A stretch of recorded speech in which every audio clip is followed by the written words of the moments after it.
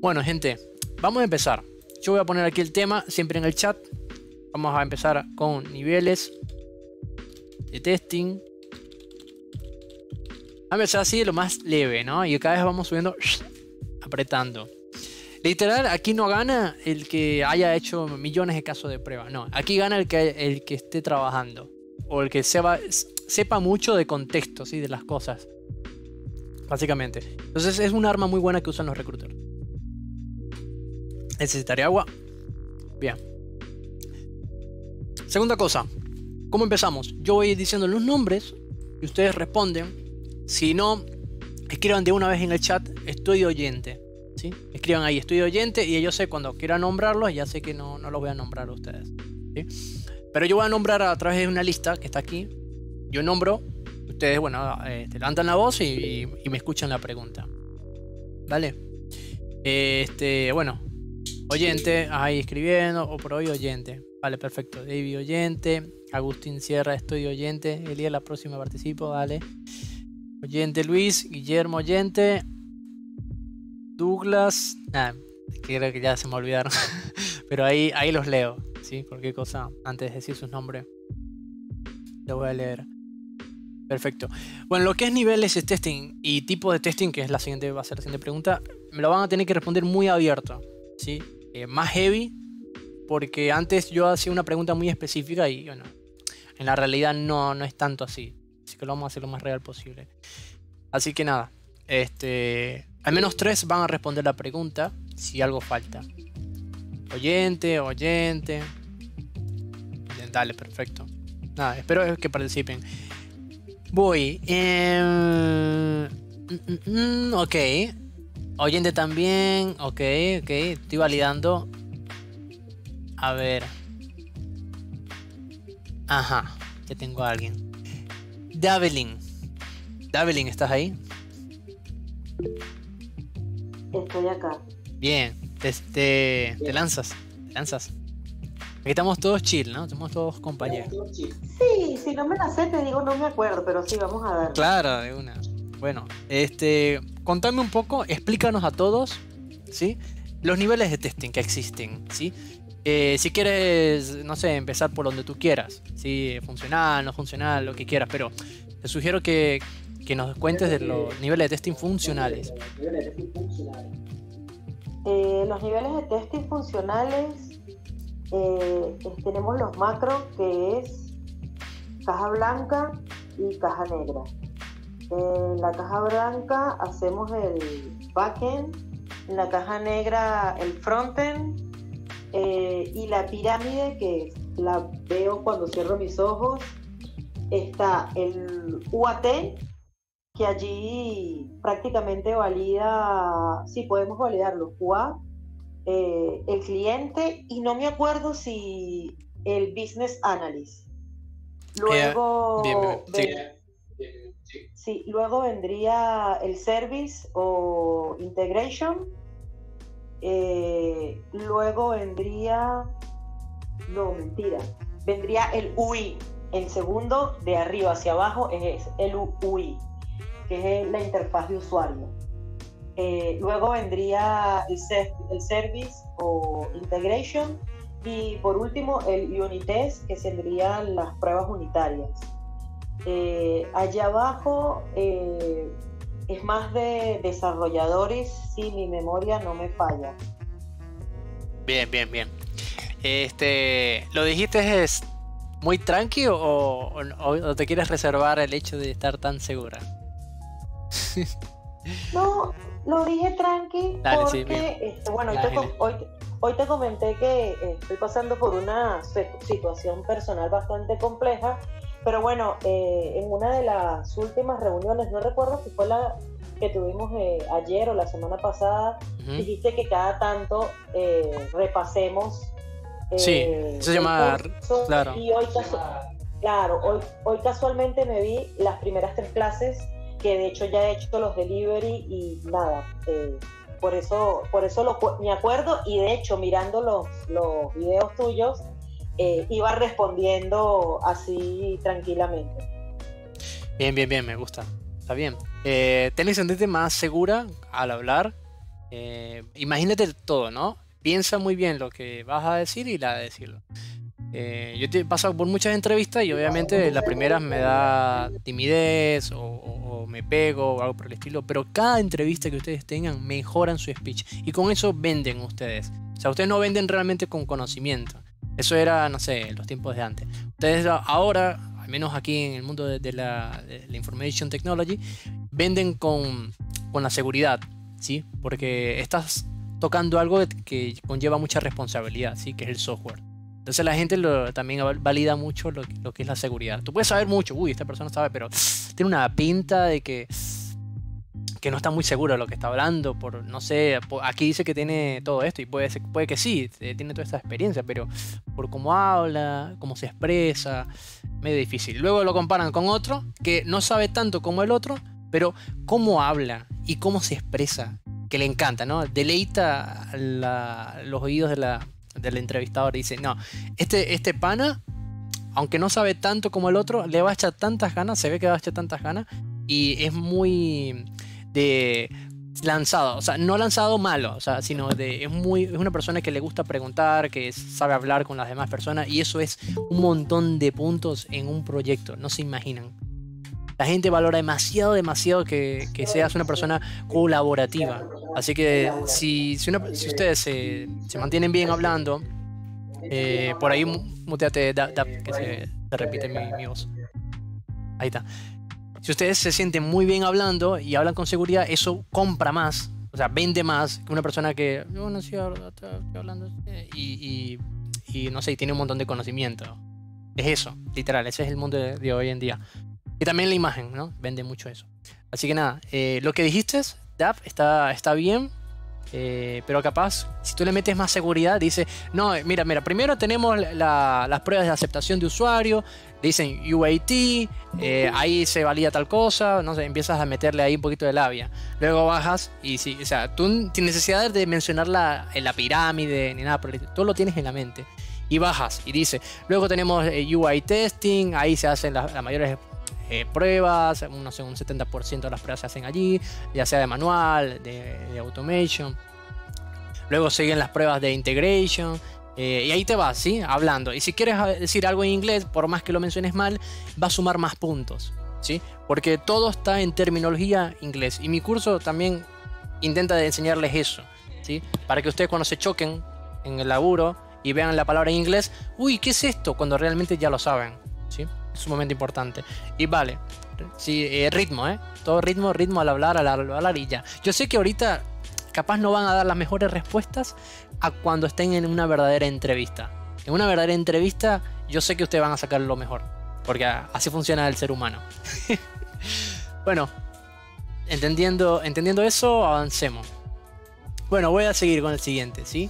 Eh, también me va a hablar de la, lo mismo, de la técnica de la, ah, los niveles de testing. Em, Douglas, Douglas me había dicho si estaba oyente, no me acuerdo. Tengo memoria de pez. Douglas, a ver si me dijiste estoy oyente. Ah, te salvaste, Douglas, te salvaste. Eda, Eda Rodríguez. ¿Estás allí? No me acuerdo si dijiste que estabas de oyente o entraste hace poquito. Edar, ¿quieres hablar? ¿Te da pena? Bien, bueno, procedo. Guillermo Hernández, ¿está por ahí? Oyente, dijo. Ok, perdón, perdón, perdón, perdón. Juan Volpe. Ah, Juan, ¿qué tal? Eh, tú me has dicho oyente, no me acuerdo, ¿viste? Eh... Yo no dije oyente. Ah, bien. Perfecto, así me gusta. Apenas dice Douglas. No pasa nada, Douglas. Ana dice, estoy ponchada, Joel, y yo nunca he estado en una entrevista y hablar de me da miedo. No sé cómo quitar tanta, tanta inseguridad.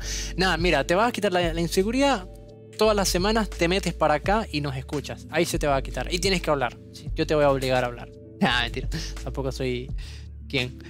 Pero sí, tienes que hablar, ¿eh? Habla, habla aquí con nosotros, además que somos un montón de gente. Y si hablas aquí bien, vas a hablar mucho mejor en la entrevista. Dale, dale con ganas, Ana. Eh, Olga dice que no puede, estoy afónica. Dale, Olga, no pasa nada.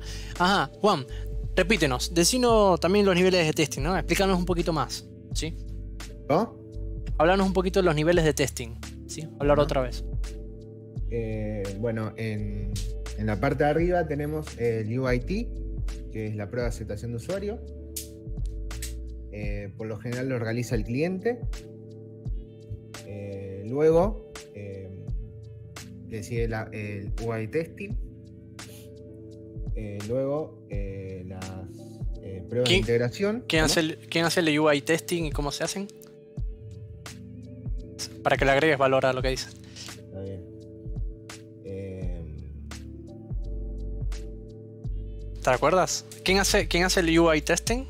¿Lo hace el QA lead? ¿Quién lo hace? Sí, lo hace el QA. Claro, pero ¿qué miembro del equipo? ¿Quiénes pueden ser? ¿Quiénes pueden ser? ¿Manuales o automation? ¿Te acuerdas? Sí. Um... Si no, mire. Pueden ser las dos. Sí, exacto, pueden ser las dos, claro. Sí, es importante mencionarlo también. Ahí sigue, luego estabas en integración. Dale, Ah, bueno, el UI que sí, bueno, interfaz de usuario. Y estas pruebas, se, por lo general, las, las, hacemos se hacen en pantalla, ¿no? Se hacen en la pantalla. Es lo que yo veo en la pantalla. Sí. Bien. El frontend también. Bueno, ¿Frontend qué es? ¿Frontend? ¿Es un nivel de testing? Eh, no. No, es, muy bien. No. El backend tampoco. Tampoco, muy bien. No, eso término más que nada lo usan los desarrolladores. Bien. El frontend es lo que estamos, eh, sería la parte de la interfaz de usuario y el backend es lo que está por detrás. Claro. Y, y en terminología de testing, ¿Cómo se le dice lo que está ahí en el frontend y en el backend? ¿Qué colores de caja? sí, el backend sería caja blanca y el frontend caja negra. Dale, listo. Perfecto. Bien, voy a dejarlo ahí. Vamos a ir a, la última persona que hable de los niveles, ¿sí? que, sea más descriptiva en la, integración y las de unidades. A ver qué nos puede decir. Si puede, ¿no? Si no, no pasa nada. Eh, estoy como oyente, si hay que practicar, practicar, claro, poco a poco. No pasa nada, chicos. Esto lleva tiempo. Como una carrera normalito, ¿sí? Estoy oyente. Bien, perfecto. Yo, Carla, bueno, venite, Carla. Hola. Hola, hola. ¿Cómo estás? Bien, gracias. Bueno, ok. Yo, yo tengo mi apunte, pero de lo que me acuerdo, eh, las, por ejemplo, los los niveles de testing, que es la primera, que es, eh, no, es no somos nosotros los que lo probamos, eh, es más bien el Product Owner, que ahorita que recuerdo el Product Owner es la persona aquella que levante todo el requerimiento y esté en contacto con el cliente. Es la parte front-end, es la parte que ya terminó el desarrollo y ya está todo terminado. Eh, después sigue la parte de interfaz de usuario, que ahí es donde entramos nosotros, donde hacemos las pruebas funcionales, que son las pruebas de caja negra. Donde no sabemos la, este, ¿cómo se llama? No sabemos todo el proceso, toda la codificación, pero sí sabemos cuál es la entrada y cuál es la salida. Después, ahora sí sigue la parte del, eh, parte del backend, que sería la parte de la caja blanca, que en primer nivel tendríamos la parte de probar APIs, y base de datos. Ya, eh, por último, el nivel eh, más que serían las pruebas unitarias. Esas pruebas unitarias la realiza el desarrollador o la parte de automatización, el que se especializa, el que se especializa en automatización, bueno, el, el texter que se, que se especializa en automatización. Bien, perfecto. Y, ok, bueno, eso es lo que... Claro, perfecto, Carla, buenísimo. Bien, ya con esa conclusión, excelente, avanzamos a, tipo de testing, ¿no? Se pone la cosa un poquito más mmm, jugosa. Bien, eh, ¿qué quieres, Carla? ¿Quieres empezar algún tipo de testing? ¿Quieres explicarnos exactamente qué es eh, los testing exploratorios? Para empezar ahí. Ok, los testing exploratorios, yo lo entiendo así. no sé si estoy bien lo correcto. Dale, no hay problema. Lo entiendo, es como lo entiendo que es, es como probar cada módulo. Por ejemplo, si tengo cuatro módulos, voy a probar por encima todos, como que les voy a dar una, una barrida. Eso es lo que entiendo. O sea, ver qué, qué, eh, cómo está el sistema, qué tan... Hay una palabra. O sea, qué tan... ¿Cómo decirlo? ¿Estable? ¿Qué tan equilibrado? Ajá, ¿qué, qué tan estable está? Es lo que yo, yo asimilo, es lo que yo entiendo. No sé si estoy mal o estoy bien. Bien, sí, sí, estás correcto. Correcto. Es que el, término se, se, usa mucho para también muchas cosas. Una de esas es para como que comprobar que tu diseño de prueba esté en lo correcto antes de hacer las ejecuciones. Se usa para muchas cosas, se usa también para eh, estar investigando la aplicación, para descubrirla, para saber, tú cuando entras a trabajar, lo primero que haces son pruebas exploratorias, para ver qué onda. Eh, también para crear técnicas de testing, ¿sí? Eso es un video ya que yo estoy, yo estoy subiendo, que es un Es tema lo ya avanzado. vamos a hacer. Sí, sí, es lo primero que van a hacer, la, la exploratoria. Y como dice ella, ¿sí? Para validar algo por encimita también. Yo, por ejemplo, quiero hacer una ingesta, una exportación de datos. Y bueno, voy a intentar así de la nada. Y si me funciona, puedo ir ya meterle con la ejecución, ¿sí? Porque no, no estoy seguro de que funcione o no funcione, porque hace poco deployaron y tocaron el código, bla, bla, bla, bla. ¿sí? Es eso, es muy, muy intuitiva la, la prueba exploratoria. Bien, siguiente. Alguien que me diga otro tipo de prueba. Eh, el primero que levante la voz. Si quiere. Si no, yo menciono. Chan, chan, chan. Si no, si no, si no, nadie. Ah, por ahí vi Sí. que Ajá, dime, dime, dime, Kelly. Dale, dale. Hola. Eh, bueno, las pruebas fun- eh, no funcionales que serían las pruebas de carga, de, de estrés, Ah, bien. de Está, rendimiento. está bien que menciones eso, sí. Están las pruebas funcionales y no funcionales. Correcto. Sí, que hasta ahora en este curso eh, nos estamos enfocando son en pruebas eh, funcionales. Claro, al grano. Eso es lo que van a ver Pero, ustedes. eh, claro, igual eh, lo ideal es que también eh, más adelante abarquemos esto también de performance. Sí, sí, hay pruebas eh, que se hacen con herramientas, ¿sí? No sé si hay alguien, escu- escuchan a alguien de que usa Gmeter, full herramienta, eso es full herramienta, ¿sí? Y es un poquitico más fácil que hacer pruebas funcionales, pero tienes que conocer la herramienta, ¿sí? Como saber de memoria algunas cosas, toda la interfaz de la herramienta, cómo se usan las cosas, todo eso. Claro. Pero bueno, vamos a enfocarnos en las funcionales. tipos de- de- ¿Cómo? de- de- hay, perdón, hay tres tipos de macro tipo de testing, que son los, los testing funcionales, los no funcionales y de mantenimiento. Bien, ahí, ahí así me gusta. Así es, tal El cual, son primero, macrotipos. El de funcional, digamos, prueba el comportamiento del software, ¿verdad? Correcto. Creo que el, bueno, el no funcional era el que probaba la estructura.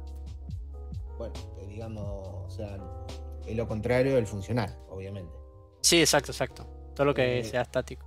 Y el de mantenimiento es, se va, digamos, chequeando, verificando todo lo que se cambia. Claro, totalmente.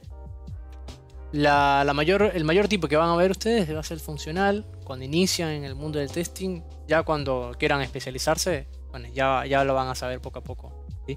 Pero no es mucho. El- la parte funcional, sí, el que dice el macrotipo funcional, es el que tiene mayor alcance y, y tienes, que para, tienes para hacer un montón de cosas. Si quieren ustedes preocuparse por algo sencillo y no estar saltando de un lado a otro, bueno, capaz si ustedes se meten a hacer pruebas de performance, ¿sí?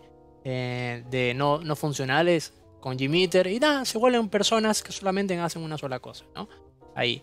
Eh, también les puedo recomendar eso. Pero nada, primero hay que aprender de lo básico, ¿no? Hay que aprender lo bajo. Ninguna persona eh, que hace pruebas no funcionales eh, no sabe algo de funcional, ¿sí? Así que, Lo que pasa que primero, perdón que te interrumpa. Sí. Eh, primero lo que hay que saber bien son las funcionales para después avanzar con las demás, ¿no? Sí, sí, sí, sin duda. Igual que si uno quiere empezar con automatización. No, debería empezar No, con. no, automatización es lo mismo. Automatización es lo mismo, claro. Automatización es lo mismo que decir, puedo hacer automatizaciones de, de pruebas funcionales o automatizaciones de pruebas no funcionales. O sea, no es lo mismo. Eso sí, eh, en la parte funcional tenemos manual y automation, ¿sí? Digamos que son el modo de testing, ¿sí? ¿Cuál es el modo de testing? No es tipo, no es técnica, no es nivel, es un modo de testing. El manual y automation, más nada. ¿sí? Y sí, hay que siempre arrancar con un manual para que ustedes puedan ir a- a- al de automation. Si van de una automation necesitan mucho tiempo sabático, es decir, van a durar mucho más tiempo sin conseguir laburo rápido, pero van a conseguir laburo eh, ya con, cuando hayan aprendido un montón. Digamos, en cuatro meses consigues trabajo sí o sí, más o menos, de manual, ¿no? Pero de automation te tendrías que dedicarle cuatro meses más, por, por ejemplo. Dependiendo de. ¿Cómo? Se pide mucho en los trabajos automation. Sí, claro, se pide un Lo que montón. pasa es que tenés que saber mucho la parte de programación orientada a objeto para saber eso. Claro, totalmente. O sea, el, a nivel de, es, es como hacer una especie de balanza. Si tú quieres más conocimiento, bueno, obvio, es lo que más piden porque es lo más difícil y es lo que menos personas tienen ¿sí? de conocimiento. Es, es lógico. Y lo que no, no requiere tanto conocimiento o tanto tiempo de estudio, eh, se ve más y se contrata más. ¿sí? O sea, hay Como la más... economía, la ley de Claro. oferta y demanda. Claro, exactamente. Por eso que bueno, eh, todo depende de ustedes. Si quieren eh, conseguir laburo rápido, bueno, usted tiene que concentrarse de que bueno, no van a tener laburo de un día para otro. ¿sí? Los testers manuales lo tienen más rápido, pero la demanda es, es muy, muy chiquita. ¿sí? Y tienes que tener un poquito de suerte de que un recruiter esté eh, buscando gente manual y que tú des onda con él, ¿no? Para que te contrate. Y de forma, de- si eres automation, nada, tienes que ser un buen automation para que te, te vean ya el ojo y te contraten, ¿sí? Porque son pocos y nada, es, es es difícil a veces también llegar al nivel que uno quiere. ¿Vos automation? Yo me considero que no soy senior automation, no. Yo me considero que soy en parte como un entre junior o, o semi junior. Ah, Eh, semi, semi senior, perdón. Pero no, no, senior no ha llegado, no, me falta mucho. E incluso me considero que no soy semi senior, me considero más bueno, junior. pero tenés, tenés idea, digamos. Has trabajado. Sí, más tranqui. Ahorita estoy como casi senior, en el, o sea, senior lead en, la, en el proyecto actual, porque se fue un montón de, se fue un montón de gente, Ah, porque líder. del sí me están volviendo casi líder. Se está, se está yendo el, el lead del otro, me están poniendo a mí. Solo somos tres, somos tres pelagatos. Eh, bueno, no nos desviemos. Vamos a agarrarle. Eh, a niveles de tipo de testing, chicos. Voy a decir el nombre. Vamos a ir con Luis Hernández. No me acuerdo si me dijo que estaba oyente. Luis, ¿estás ahí? ¿Estás o no estás, Rey? No sigo. Luisani, ¿estás ahí? ¿Qué me cuentas, Luisa? Hola, ¿cómo estás, Eli? ¿Qué me cuentas? Bueno, antes de hablar hay que seguir con la entrevista. Eh, a ver, cuéntame un poquito de los tipos de testing que encuentro en, integra el nivel de integración. La parte de integration, lo más común es que hacemos los testers manuales. Bueno, o, bueno, dejaría de ser manual, ¿no? Pero lo que hacemos es APIs y la parte de consulta de datos más que todo. Y bueno, se Mm. llama integration porque tocamos algo del código, pero seguimos evaluando la parte del frontend, la parte que podemos ver. Bien, bien, bien. Perfecto. Bueno, si estamos bien. Yo avanzo y menciono a eh, Angelis. ¿Quieres participar? Milian, ¿estás ahí? No me acuerdo si me dijiste, a ver, ¿qué me dijiste? Estoy oyente, ah. No, dije que sí, pero que creía. A ver, ¿qué, qué pregunta? A ver, esto es, esto es reciente, me imagino que ya lo has visto. Dime Ah, eh, los otros tipos de testing que faltan. Ya dijeron exploratorio, el de, el de API, database, y creo que dijeron también el de el sistema, o sea, el normal, ¿no? eh, tipo de testing, te puedo decir el de Smoke. Muy bien, Smoke, ¿qué más? que es una revisión rápida, eh, digamos, del software que se está probando. No es como para, eh, para hacer como tal, eh, crear los casos de prueba, sino es como una revisión para ver que esté funcionando como debería. Bien, perfecto. ¿Y Sanity? ¿Qué piensas de Sanity? Sanity, Sanity, uy no, eso no lo recuerdo del bueno, le doy así como una especie de, de resumen. Sanity es como lo mismo que Smoke, pero más específico. Mientras que Smoke prueba eh, una feature muy grande para validar todo un ambiente, por ejemplo. El Sanity sería como que, bueno, vamos a chequear el login, ¿vale? Para que el usuario se pueda registrar, ¿no? Eso es todo. El Sanity. Es, es muy, de hecho, son muy similares a las pruebas de exploratorias, pero las pruebas exploratorias son muy versátiles. A cambio, la- los Sanity y Smoke son cosas más prediseñadas y escritas que se hacen antes de hacer algo grande a veces. Como tú dijiste sobre el Smoke, tal cual. Perfecto. Eh, alguien que me hable de la regresión, ¿sí? Regression testing. ¿Quiere hablar de alguien o busco a alguien y lo, me- lo menciono? Eh, Puedo decirlo también, o bueno, creo que alguien, alguien quería hablar. Eh, creo que era Carla. Carla, ¿quieres agregar? Es, pues bueno, le doy primero la palabra a Milagros y ya continúo yo. Dale, dale, está bien. Bueno, eh, las pruebas de regresión, estas se realizan una vez que eh, eh, se... A ver, ya va, déjame organizar mis palabras. Sí, las pruebas de regresión se realizan una vez que se ha eh, arreglado un bug. No sé realmente qué palabra colocar ahí, pero bueno, una vez que reportamos un bug, porque conse- eh, lo conseguimos en, Ujú. en las pruebas que se estaban realizando, eh, reportamos el bug y luego se vuelve a hacer, eh, luego que se arregle este defecto, ¿no? ¿Es defecto o, o se dice error? Uy, eso, eso está bueno para otra. Ese, creo que es una entrevista que ya le hicimos. Pero sí sería defecto si lo encontraste. ¿Lo encontraste haciendo qué exactamente? Eh, hacien- eh, cualquier caso de prueba que estuviese Defecto, haciendo. entonces. Def- Sí. Eh, bueno, una vez que se arregla ese defecto, nosotros volvemos a hacer eh, la prueba de manera que podamos verificar que se haya arreglado ese defecto y que moviendo, o bueno, cuando arreglaron eso, no, no se encuentre otro. Uy, no, me enredé toda.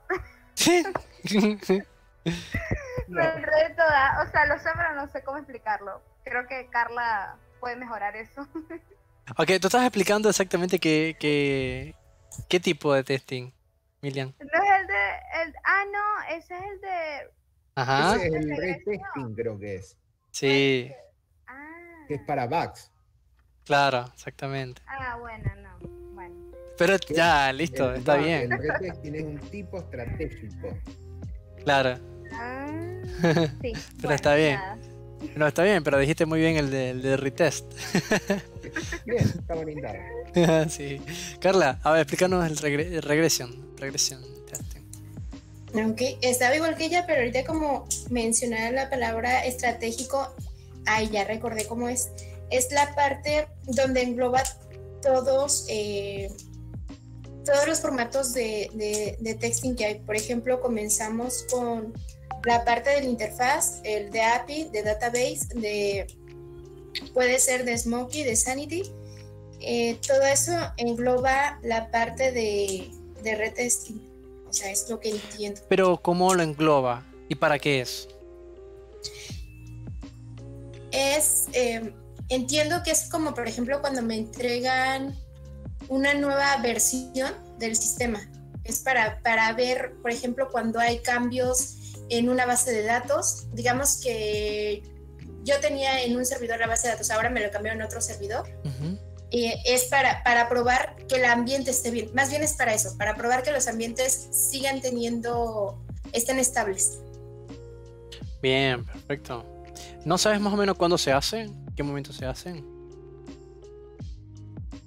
Mm, Entiendo cuando hay cambio de servidor, cuando hay cambio de servidor de base de datos y cuando hay cambios de una nueva funcionalidad. Sí, sí, en la última no me equivoco. Creo que en la última me estoy equivocando. Bien, Carla, excelente. Está bien. Estamos bien, estamos bien.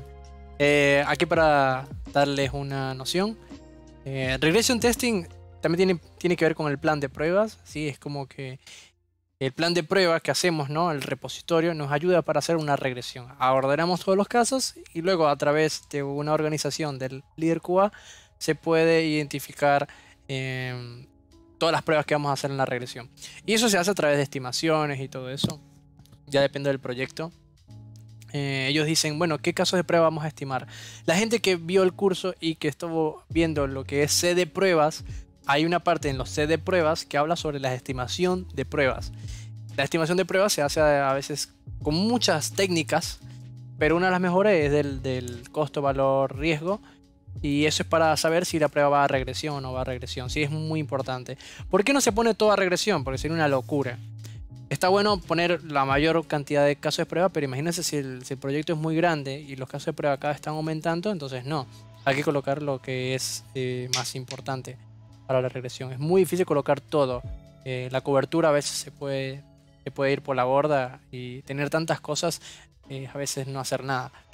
Eh, entonces, nada, por, por eso les menciono este detallito, para que también cuando estén hablando de regresión, mencionen también esa, ese hecho.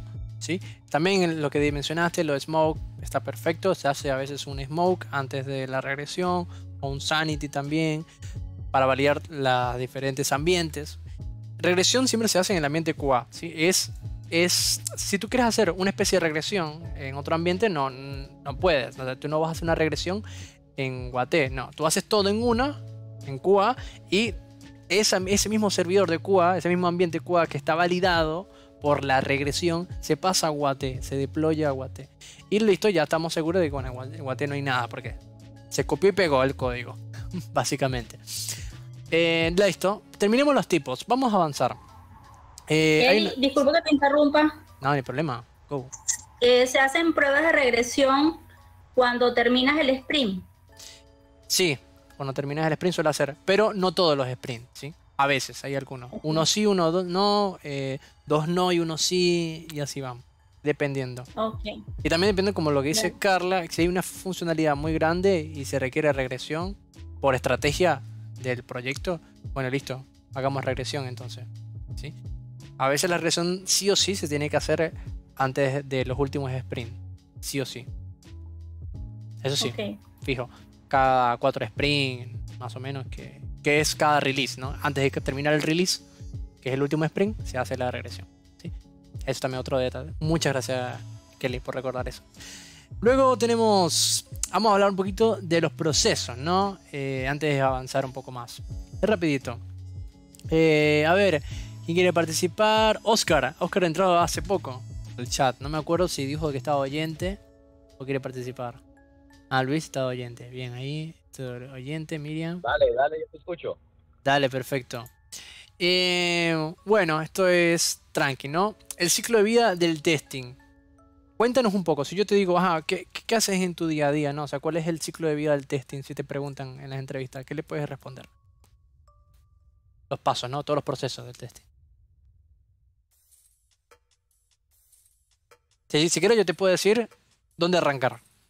Estamos haciendo, qué sé yo, eh, el product owner está sentado con los business analysts, analizando las features, acomodando las historias de usuario, y boom, nos llaman a hacer un sprint planning. Bien, llaman a el sprint planning, ellos ya colocaron las features en el sprint y nos las van a presentar. Bien, ¿qué se hace a partir de ese momento? ¿Qué tenemos que hacer nosotros lo de QA? Que te, que te recuerde, si viste la primera clase de todas, sabrás qué es.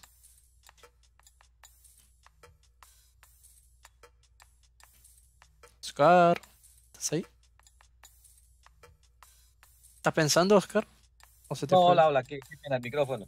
Ah, Se me- se ok. me cortó, se me cortó. Bien. ¿Escuchas? Sí, te escucho. Vale. Eh, se, se leen los, eh, se analizan los requerimientos de los clientes. Pues ya se supone que el, el, el business, el business analysis o el product owner nos pasan los requerimientos para, para hacer los, los casos de prueba, Bien. para hacer las, las historias de usuario, ¿vale? Yes. Luego entonces hacemos un, un test planning. Planeamos cómo ser los, los, las- la- vamos a ejecutar las historias de usuarios. Buenísimo. Hacemos un test design donde pues hacemos el test suite, eh, qué vamos a hacer dentro de cada test suite, qué, qué test case vamos a hacer en cada uno. Y hacemos el, el test ex- executing. Ejecutamos los, los casos de prueba. Sí, ¿Hablaste del, del design? Sí. Bien. Sí, Bien. el design que engloba, pues engloba el, el, el test suite donde se, se, se hacen todos los, se Claro. ma- se, meten todos los casos de pruebas, Correcto, ¿vale? correcto. Pues todo es marcado dentro de, de un entorno, cada, cada, pues cada test, cada caso de prueba se hace en un entorno, dependiendo pues de, del QA. Creo que es así, o si es de entorno de desarrollo o entorno de, de pruebas. Y ejecutamos las pruebas. Bien, pero ¿la ejecutas ahí mismo en el momento o esperas a algo Ah, no, después de, de- de- del diseño? de- del diseño, sí, claro. Después del diseño se ejecutan las pruebas. Ya tenemos el test suite, los casos de pruebas ya diseñados, ya lo que vamos a ejecutar y luego sí lo ejecutamos. Está perfecto. Falta algo. Eh, ¿qué- qué de pasa? resultados- dependiendo de los resultados de, la, de las pruebas, de la ejecución de las pruebas, entonces pues eh, hacemos un retest y no- o si nos si van bien las pruebas, pues cerramos, hacemos un test closure. Bien, perfecto. O sea, está buenísimo. Hay un detalle antes de la ejecución. Que nosotros no podemos ejecutar las pruebas si no tenemos la feature ahí en nuestro ambiente. Entonces, ¿qué se necesita primero? El deployment. ¿Sí? El deployment. Claro. Sí. Entonces, ellos necesitan deployar esa feature que ellos acaban de hacer con su código. Ellos la prueban, hacer el unit test. Luego que hacen el unit test, bueno, listo, está todo válido, dale, vamos a pasarlo a, QA para que se caigan a, golpes. Y ahí nos la pasan a nosotros. Cuando cae a nosotros, el líder QA suele avisarnos, o nosotros también ya estamos enterados por la daily, ¿no? Porque todos los días están charlando, ¿no? Entonces, mira chicos, hoy vamos a deployar tal cosa. A lo mejor te dicen, ah, bueno, ¿a qué hora? No, como a las 2 de la tarde. Ah, bueno, listo. Pero a las 3 ya con mi ejecución. Y mi- mientras tanto me pongo a hacer otra, otra, otros diseños. Vale, perfecto. Ya está. Entonces, es importante cuando estén mencionando ese proceso, háblenle a la persona sobre ese, ese súper detalle, ¿no? Después, después del deployment a QA, pues proceden a hacer lo- la- los casos de prueba. Ajá, hacen ejecuciones. Lo que dijiste tú exactamente, retesting, si en caso hay un defecto o algo por el estilo. Eh, hacemos el test closure, que simplemente reportar este, cuántos casos de prueba se perdieron o si pasaron todos los casos de prueba. Es sencillo. El líder QA se, él se encarga de hacer un test report que él se le enseña a, lo- a los, a los managers. ¿sí? Que simplemente agarrar ahí, hacer tres botones y ya te genera un reporte del gestor de incidencia. O sea, una, una pavada. Bueno, y falta hacer algo. Nosotros tenemos que avisar que no encontramos defectos, todos los casos están pasados y están paz y que ya pueden proceder a deployar a Guate. Entonces, ¿ellos qué hacen? Antes de cerrar la historia de usuario, ellos tienen que deployar esa feature, ¿no? Que ya está validada por QA a Guate, ¿vale? In- Inclusive, si encuentran un defecto y lo arreglan y luego del, del retesteo, ustedes dicen, bueno, el retesteo terminado, el- no hay defectos encontrados, se- ya se puede proceder a deployar a Guate. Bueno, perfecto, gracias y ellos proceden a deployar Aguate y luego el business analyst o el product owner se encarga de cerrar esa historia de usuario o el project manager que es durante la daily o en el, en el momento que ellos crean oportuno. Eso sería clave, ¿eh, chicos? Bien, eh, perfecto. Oscar, de verdad, muy buena, muy buena. Vamos a avanzar. Uh, mira quién entró. Está Roxana y Santiago. Bien, quería agarrarlos. Eh, ¿Quieren participar, Roxana? ¿Podés o estás de oyente? Cuéntanos. No, nos faltan como unos 15 minutos, más o menos, 10 minutos. Si no, escriben, escriban si están de oyentes, ¿eh? Los que, no, los que están entrando. Hola Roxana, ¿puedes hablar? ¿Quieres hacer entrevista? No es larga, simplemente responde una pregunta nomás. Ok, eh, Santiago, ¿qué nos estoy. Bien. Bueno, a ti te toca la pregunta de eh, las incidencias linkeadas y un poquito la trazabilidad. Igual lo, lo, repartir- lo repartiré esta pregunta eh, en dos personas, tres personas, mejor dicho.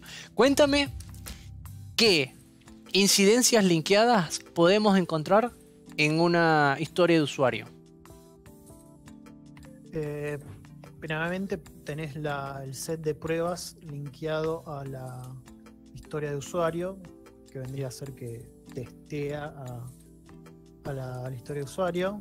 Bien. Después eh, tenés a ese set de pruebas, una vez que creas todos los casos de prueba, lo linkeas a ese set de pruebas. Em, una vez que se, vos ejecutás los test cases, primero que, antes de ejecutarlos, armas una test execution y, ¿sí? para ejecutar todo ese set de pruebas. Bien. Una vez que se ejecuta, si hay, si hay este, defectos, eh, se hace un, un retesting, se hace una se crea una tarea de retesting y esa tarea la asocias al caso de prueba que, que dio como resultado un defecto.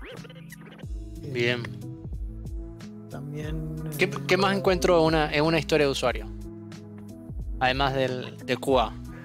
Un blog de. Ah, puedes tener un bus que bloquea el estudio de usuario. Puedes tener. Bien. ¿Qué más? Eh, este set ya lo dije. Eh, me estoy olvidando de algo. Puede ser.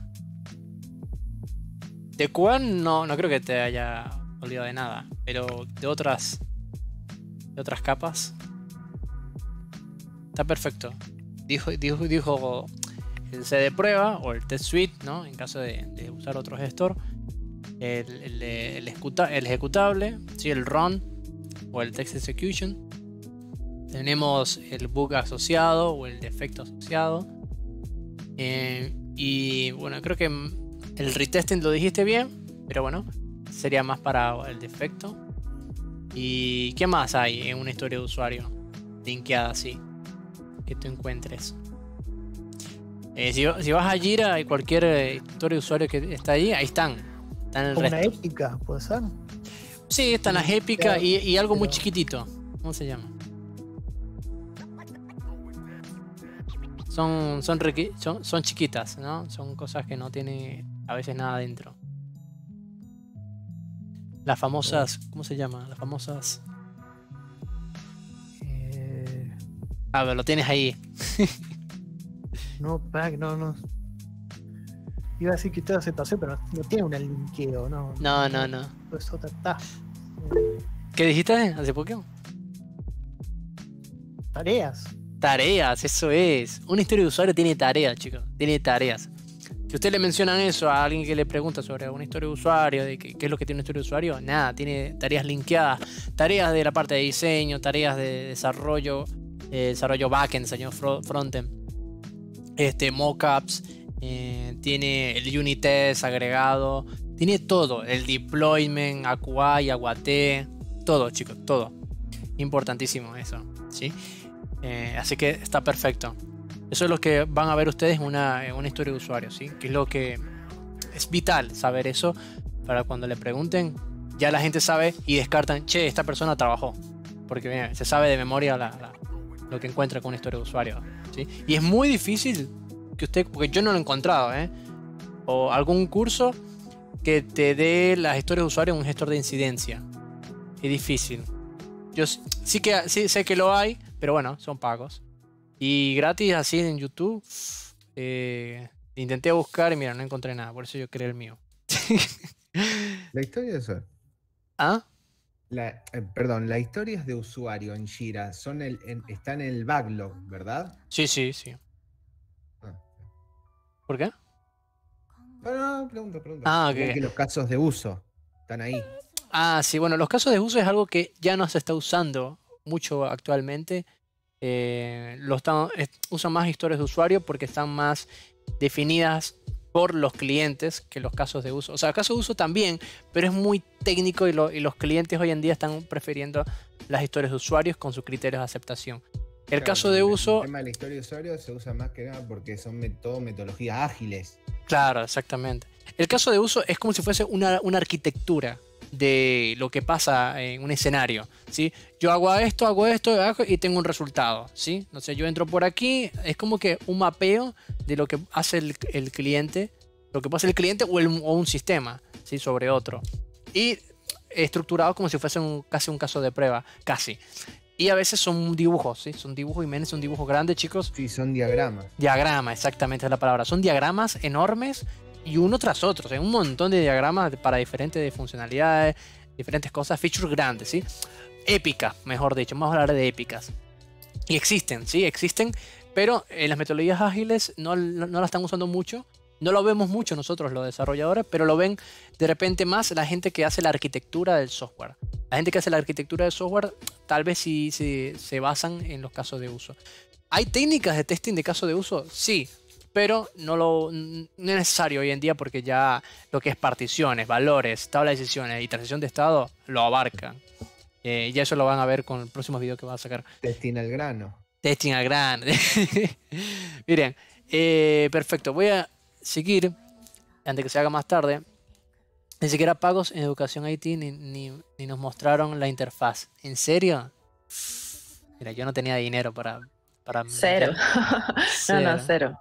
Cero. O sea, yo conozco Jira porque estoy muy, yo he hecho, yo estoy, he estado trabajando con marketing digital desde hace mucho tiempo y también se usa en las agencias. Ah, claro, sí. Para Pero, otros tipos de gestiones. pero en, en educación IT ni los mencionaron. Nah, uh, lástima. Nada, y eso es algo que la mayoría de las eh, se usa siempre, ¿sí? Y cualquier herramienta de automatización también están linkeadas las historias de necesidad. Todo está ahí, todo, todo, todo está ahí. Entonces es sumamente importante aprender el gestor. Eh, yo hice educación IT y siento que he aprendido más en los cuatro videos que llevo de lo que Increíble. en serio, no me lo puedo creer. No, yo no he pagado uno para, para saber. No, no he podido. Me pasa.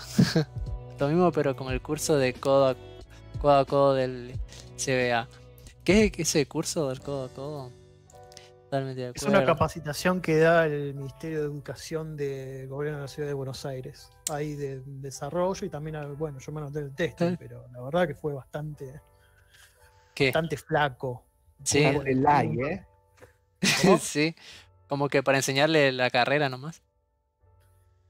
La verdad que es muy, muy por encima todo, eh, el material de, de estudio este, de los apuntes y eso, todo muy mal.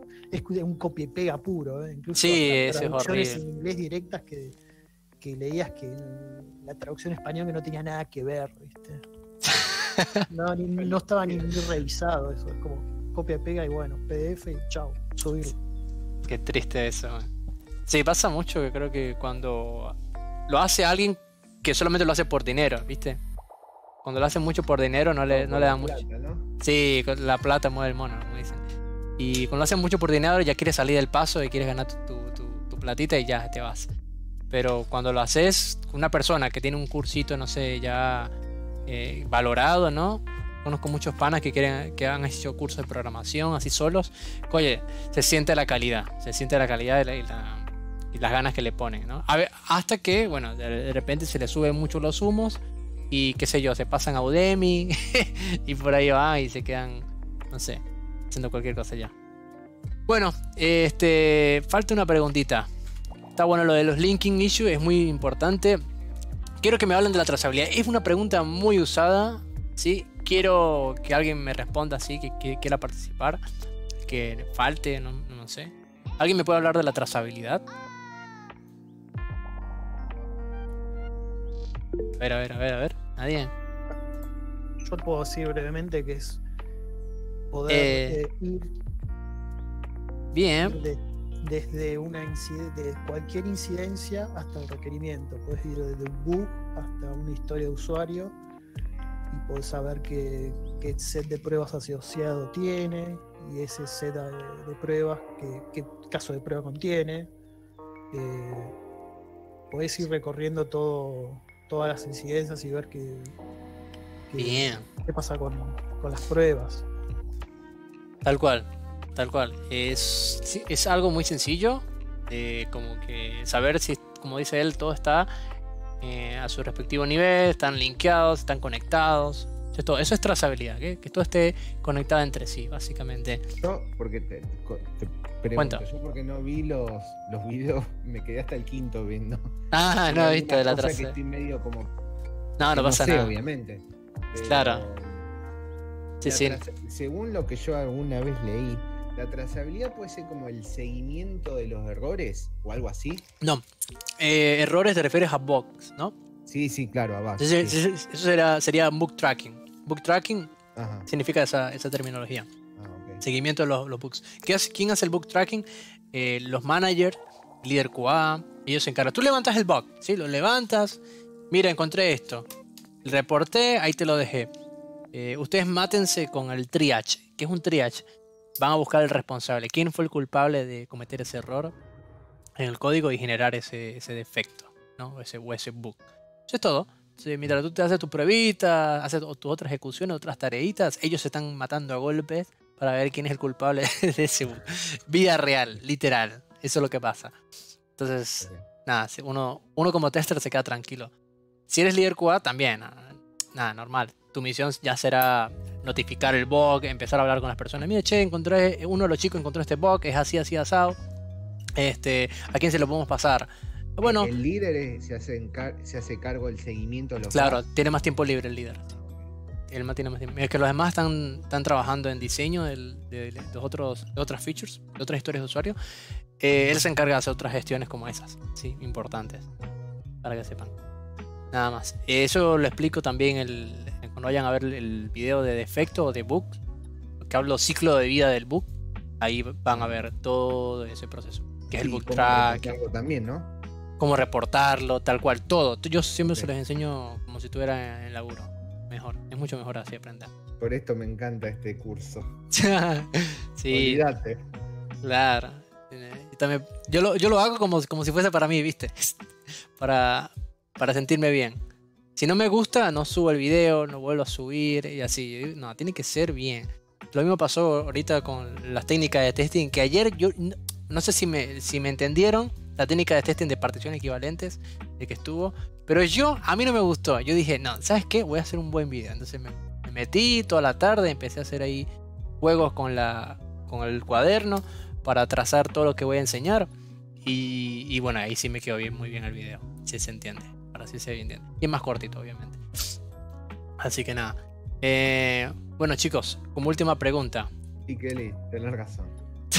A Kelly, vos sabés que, o sea, una aclaración, la conozco porque hicimos un curso junto en educación IT. Ah, ¿en serio? Mira, no que, sé. buenísimo, buenísimo. Bueno, este. Como para finalizar, chicos, ¿entendieron algo de qué es Story Points? ¿Alguien ya está para, por ahí?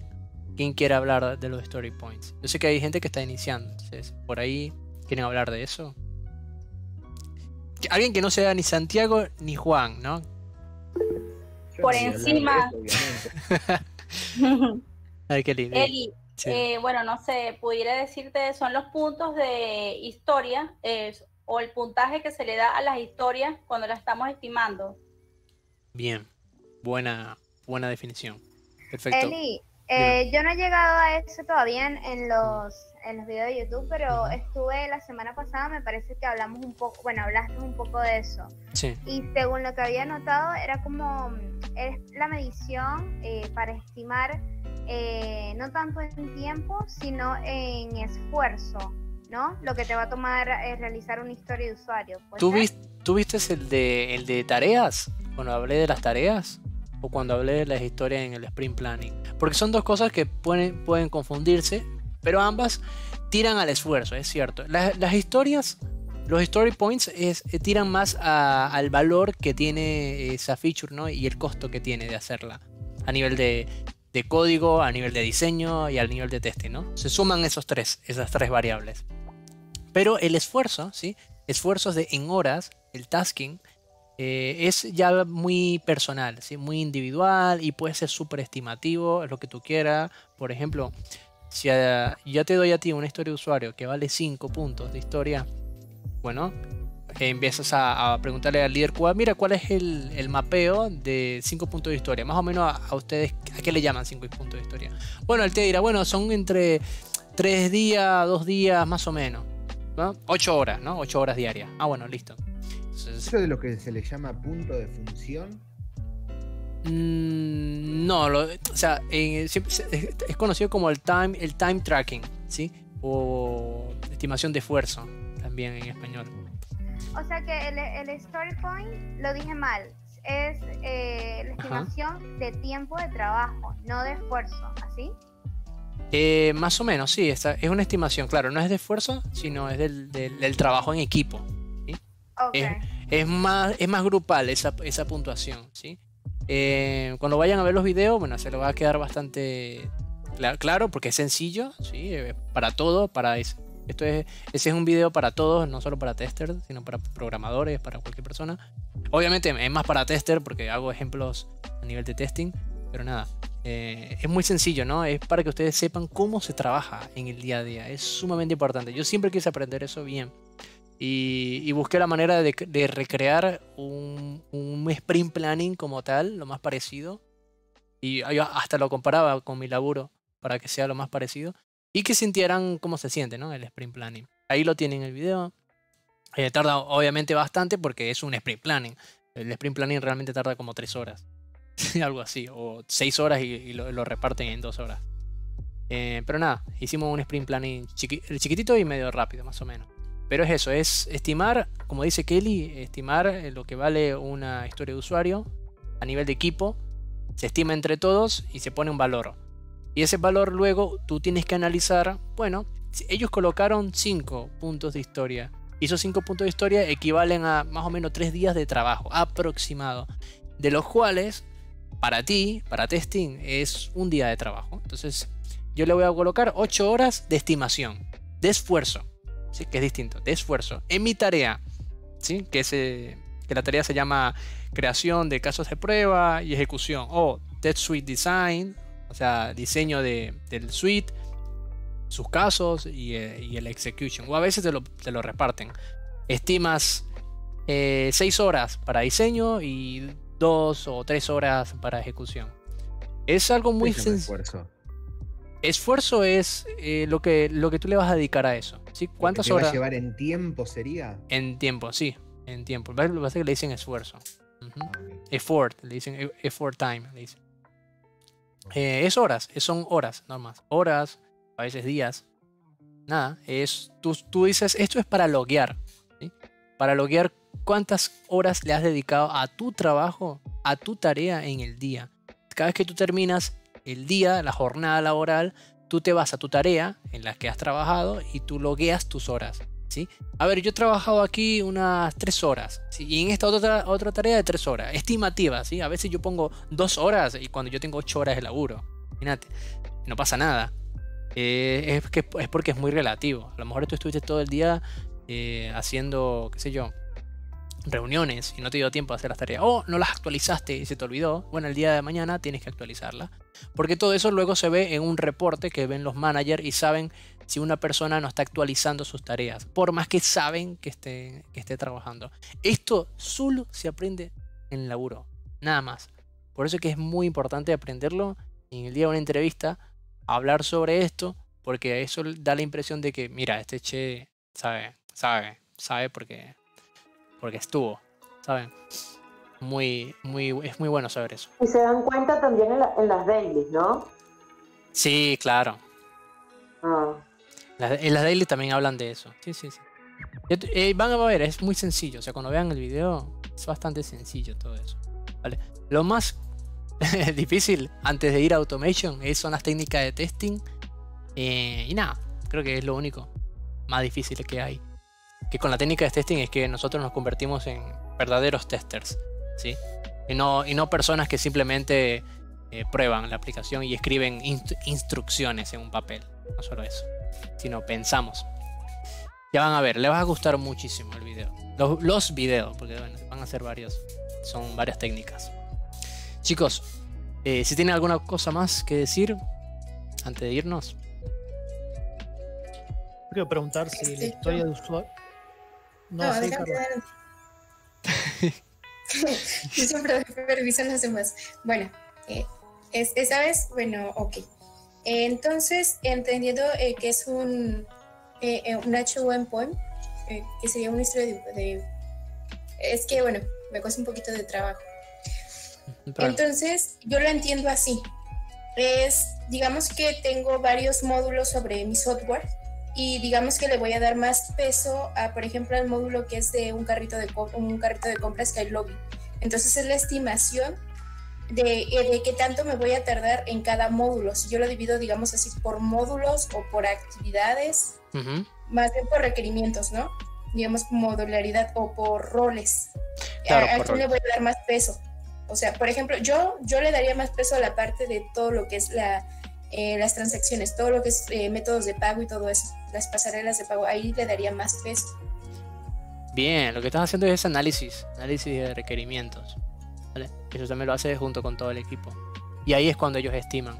Hay muchas técnicas de estimación y muchas técnicas de puntuación de historias. Hay uno que se llama gapping, mm, no sé cómo explicárselo a ustedes ahí en español, pero es como, por ejemplo, si yo soy el tester y yo hago la ejecución, ¿vale? Y, y tú dices que a ti te toma eh, individualmente, o todo el equipo le toma 5 puntos de historia, y yo soy el, el que hace la ejecución, y por lo tanto vengo después del deployment, entonces si yo pongo 2 puntos de historias, serían 5 más 2. ¿Cuántos serían? 7. Serían Siete. 7 puntos de historia. Eso es, es como un gapping. Eh, a, a veces lo aplican. Creo que es algo así como a lo que te refieres. Siempre es recomendable estimar, ¿no? Siempre se hace. Sí, siempre, siempre. Siempre. Es que con eso es que los clientes están detrás de uno. ¿Sabe? Y con el tasking, lo que les mencioné a ustedes de, Claro, de- es como un control. Ah, Exacto, el tasking es un control, la historia de, de usuarios también es un control, todo es una estimación. Es muy lindo ese mundo, de verdad. Uno cuando está trabajando, uno lo entiende bastante bien. Y nada, eh, yo lo trato de replicar en el, en el laburo. Entonces, cada sprint que hagamos, o sea, cada, cada vez que pasan 15 días, yo actualizo el site de Jira y hacemos un sprint planning nuevo. Nos sentamos, participan los que quieran, un montón de gente si quiere, y nos vamos a divertir ahí bastante en el sprint planning, estimando cómo se divirtieron los demás. Y así, cada 15 días un sprint planning y luego la retrospectiva, obviamente, eso no lo hemos visto ahora. La retrospectiva lo vamos a ver eh, en el, el viernes 18, si no me equivoco. Voy a, voy a hacer una, una meeting de, de retrospectiva para el que estén, para que sepan. Es todo. ¿Alguna, cosa, ¿Alguna otra cosa más? Ah, preguntar si, si cada historia de usuario se le asigna a un único desarrollador. O se puede ser Sí, más sí. de un desarrollador trabajando en la misma historia de usuario. Eh, la splitean, si es así, la splitean. Splitear es agarrar una historia de usuario, la dividen entre dos, tú te encargas de esto, tú te encargas de esta funcionalidad. Pero siempre es una persona por funcionalidad. Siempre. Si no, imagínense, se van a chocar ahí los códigos. Por eso usan una. Y luego Ahí el lead. fácil identificar el culpable del. Claro. del sí, sí, sí.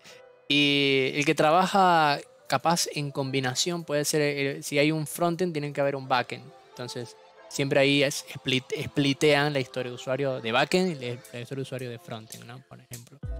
Eh, y está el líder, líder de desarrollo, que lo que hace es hacer un code review, como revisa que el código esté correcto, que lo escribieron bien y listo. Y nada. También hay otra persona que se encarga capaz de- del deployment, si es que no está otra persona, y así. Chicos, lo dejo, muy buena meeting. Gracias, Leno. Sí, chicos, yo también me tengo que ir. Muchas gracias por estar acá. Eh, lo- los adoro mucho por estar en, en este cursito open source y que sean los pioneros de, de este, de esta comunidad, ¿sí? porque está creciendo apenas. No te vayas nunca. no, no, no, no me voy a ir.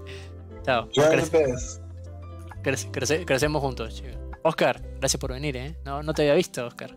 Llegué tarde, llegué tarde. Ah, mira. Pero bueno, no, ahí estamos, ahí estamos. Bien, no pasa nada. Nos vemos. Que tengan lindas noches y cualquier cosa, siempre estoy en Slack. Chau, chau. Buenas noches.